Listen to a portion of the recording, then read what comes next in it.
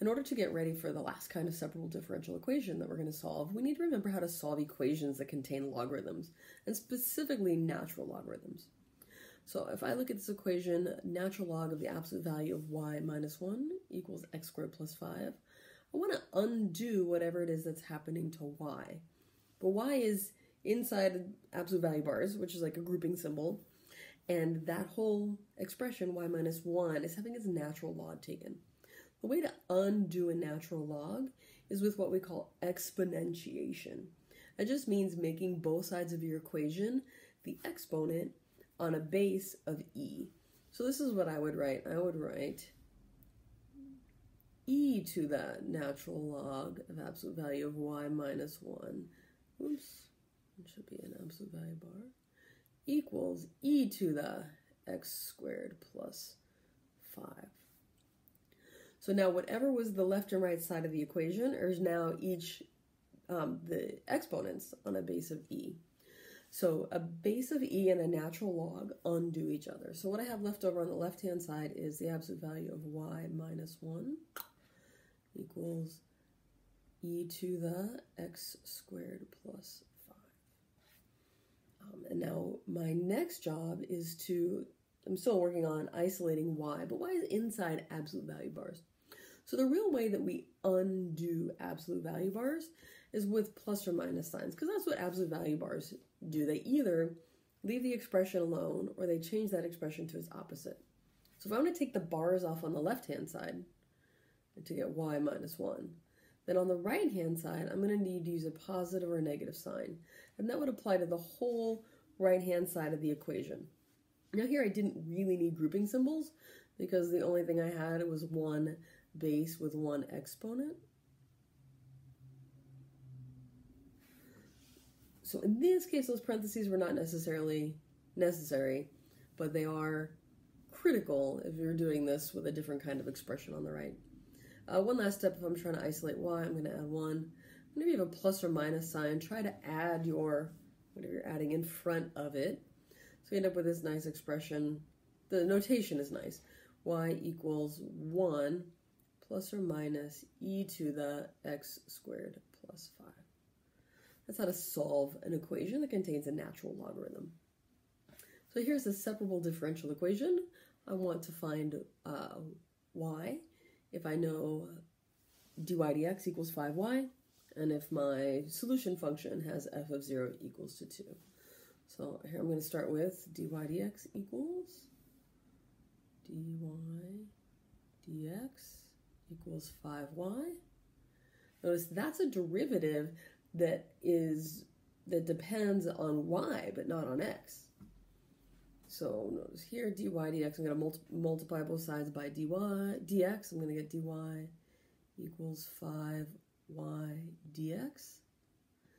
And I have to ask myself, what's happening on the right-hand side with y? If I want it, that y to not be on the right, well, y is a factor, so I'm going to fix that by dividing both sides by y.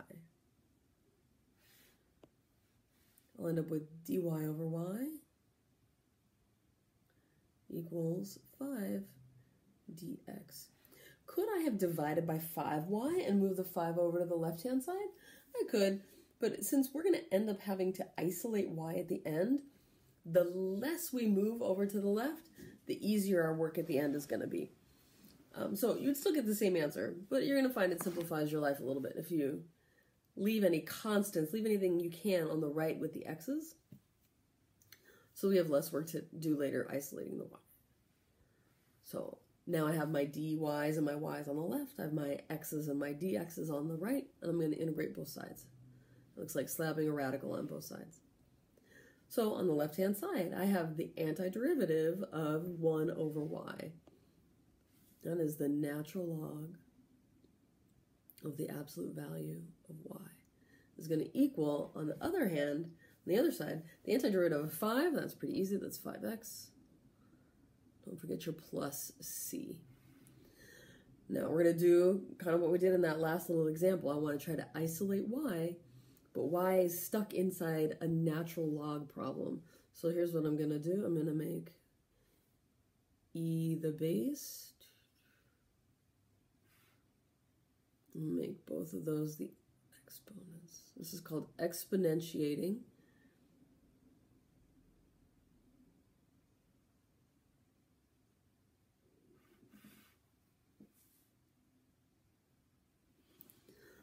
So on the left-hand side, e to the natural log of cancels out, and I'm going to end up with, I'll change from red, the absolute value of y on the right, on the left.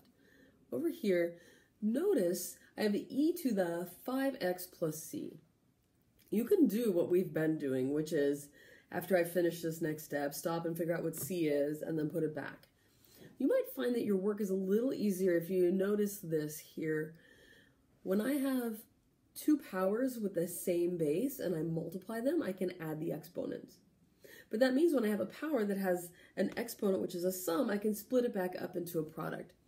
So if we think of this as e to the 5x times e to the c, our work is going to become a little bit easier if we can notice this. e is a constant, 2.71828. c is some constant. So if I take a constant, I raise it to a constant power, I'm going to have just some other new constant.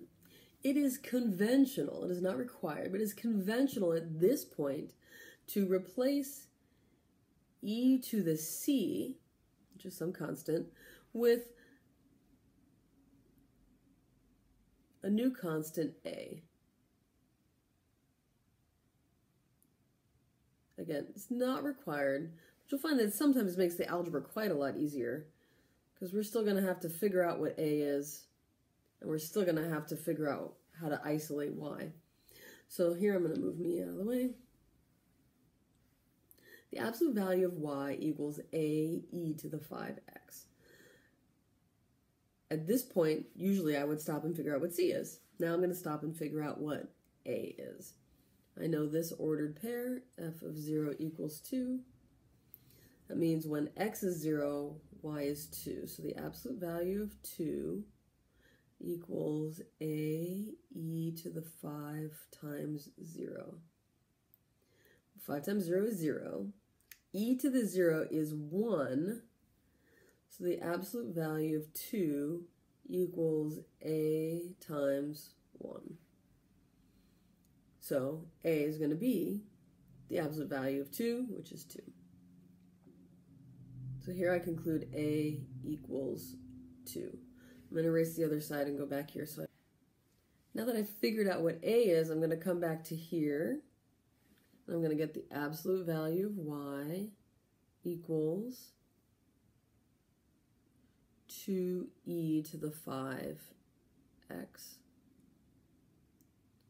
Then I'm trying to isolate y, so y is equal to, if I undo absolute value bars, I have to put a positive or negative sign on the right-hand side, on the other side, in this case on the right-hand side, 2e to the 5x. And then I'm going to have to ask myself, because what I've written for my y is not a function, has that plus or minus sign, and functions are supposed to give you exactly one answer. So this is giving me two answers. I have to go back to this original initial value and say when x is 0, I need my y to be positive 2, so I'm going to choose the plus sign, and I decide that y equals positive 2e to the 5x. I'm going to double check that when I replace x with 0, I get e to the 0, which is 1 times 2, which is 2. And I'm going to show you how to take the derivative just to double check your answer. Um, before I do that, I'm not going to have to write a domain statement because e to the 5x, um, there's no restrictions on what you put in an exponent, no restrictions on the real numbers. So here the domain is all real numbers. I'm going to show you how to take the derivative and check our answer here. Once I decide on my y, I'm going to find dy dx. So dy dx is going to equal this 2, which is a multiplier, and then e to the 5x times the derivative of the exponent is 5. So notice that that's going to be, if y is 2e to the 5x, dy dx equals 2e to the 5x is y times 5, which was my original differential equation. So that must be the correct solution.